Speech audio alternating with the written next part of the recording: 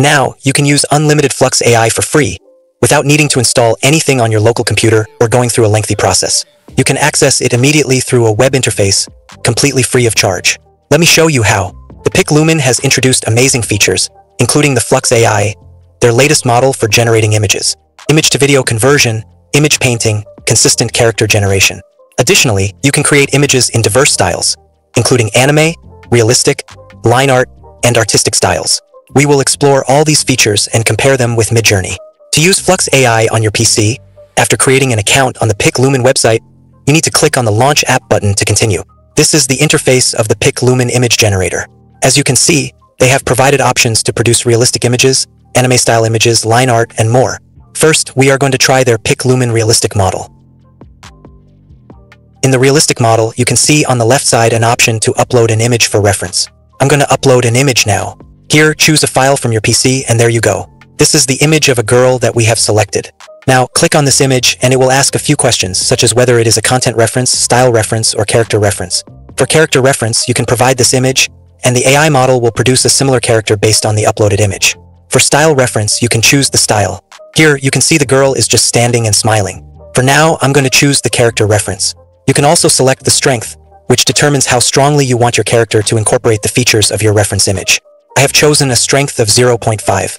Let's give a prompt like a girl with long black hair, standing in a jungle wearing a blue dress. After entering the prompt, there is an option to choose the resolution of the image you're going to produce. I'm going to select the default ratio option. You can choose the number of images you want to generate with up to four image generation options available. I'll select four images and click on the generate button. In just a few seconds, the output appears.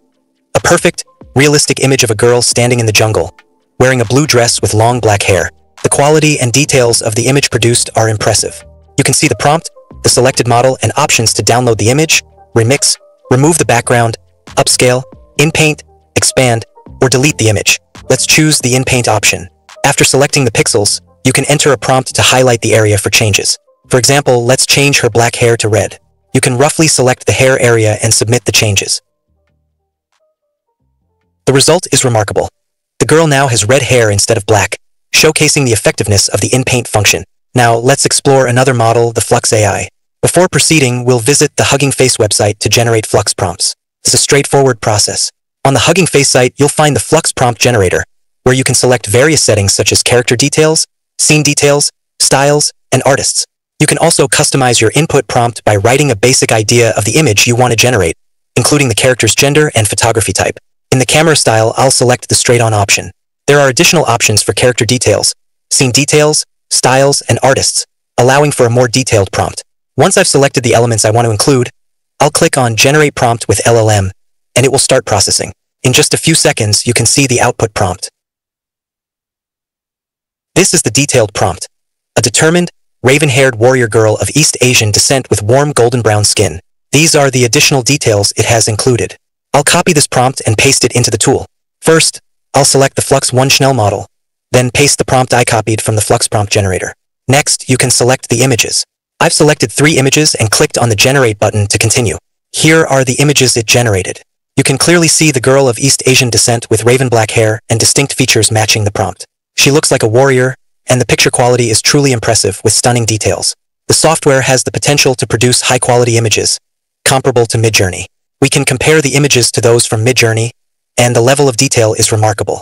I'm truly amazed with this tool, especially the Flux 1 Schnell model, which is free. Unlike Midjourney, which has paid plans, this software allows you to generate incredible images for free at a similar quality. Let's try another prompt. A beautiful Chicano-style woman with her finger to her lips. I'll input this into the Flux model. The realism in the images makes it hard to believe they are AI generated. The details, such as the wrinkles on her face, make the image even more lifelike. I absolutely love this software and this model. To show a comparison, I generated the same prompt using Midjourney. The Chicano-style woman with her finger to her lips looks almost identical in both models. The best part is that Flux is free, and you can generate unlimited images without any cost. Here's a side-by-side -side comparison. On the left is the image generated by the Flux model, and on the right is the one generated by Midjourney. Both images, created from the same prompt, are stunning and nearly identical in quality. Now, Let's test it again with a different prompt. I'll write a new one, adding some dress details. A beautiful woman with platinum blonde hair, wearing an asymmetrical dress, one side pink, the other side green. This will be a fun prompt to see how it handles the dress details. You can see the beautiful woman, realistic looking. It doesn't even appear like it's AI. The images are kind of realistic, and the details are amazing. From one side, it's pink, and from the other side, it's green with different dress designs in each picture. What I love about this tool is the consistency of characters.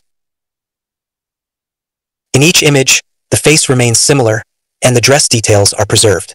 I truly love this. We have generated the image with this prompt in the Flux One model, and I'm showing you the images one by one. You can clearly see the quality of the image and the details it has added. Everything about the software is impressive, and the best part is that it's free to use. Now let's try another prompt. In Midjourney, you can see I have written the prompt, and it has produced some images.